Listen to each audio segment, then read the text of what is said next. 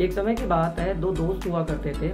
एक जो एक जो लड़का था, जो फ्रेंड था, उसके पास एक कुत्ता आता है। और उस कुत्ते की खास बात ये थी कि वो पानी के अंदर तैरता था।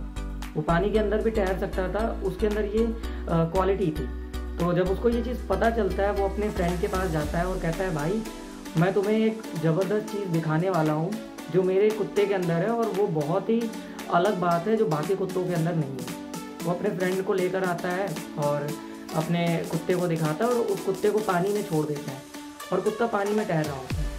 तो जब उसका फ्रेंड देखता है कि कुत्ता पानी में तैर रहा है तो वो उसको तारीफ़ करने के बजाय कहता है कि, ठीक है यार, तुम्हारा कुत्ता पानी में तैर रहा है, लेकिन वो उड़ नहीं सकता।